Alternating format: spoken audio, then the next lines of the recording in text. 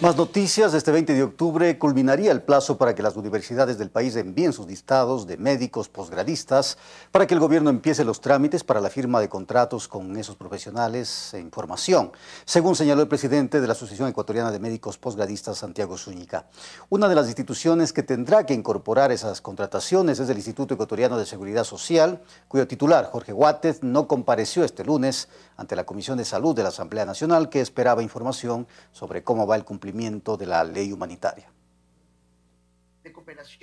El presidente del directorio del IES debía comparecer virtualmente a la Comisión Legislativa de Salud, pero en su lugar solo ingresó el director general de esa institución. Lamentablemente el día de hoy no pudo estar presente, sin embargo, estamos prestos para colaborar con cualquier situación que ustedes necesiten, cualquier información que ustedes requieran. Se requería que Jorge Guate detalle cómo el IES cumple la ley humanitaria, por lo que la presentación de un delegado molestó a varios de los comisionados y de manera unánime 11 asambleístas aprobaron suspender la comparecencia para que se dé cuando Guatet garantice estar. Esta comisión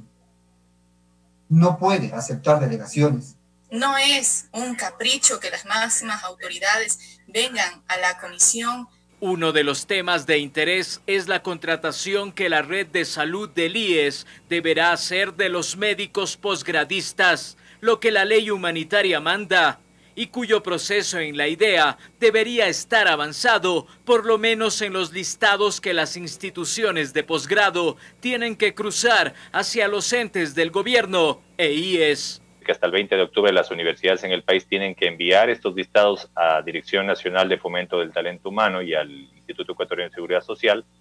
para que se empiece con el tema del desarrollo de los contratos de los médicos posgradistas eh, con el Sistema Nacional de Salud. El representante de los profesionales médicos en formación asegura que hasta que los contratos no estén suscritos, seguirán en condiciones que desconocen su tarea en las casas de salud. Ningún médico posgradista en el país ha firmado todavía un contrato. Hay que recordar que esto tiene un plazo, sí, de 30 días para ejecutarse, entonces estamos a la espera de que esa fecha llegue. Esa fecha se cumple el 3 de noviembre Así que para esa fecha deberíamos de haber tenido eh, un segmento de médicos de posgrado ya con contratos debidamente firmados y no vamos a tener un problema nuevamente de incumplimiento de la ley. Santiago Villasaña y Telerama Noticias.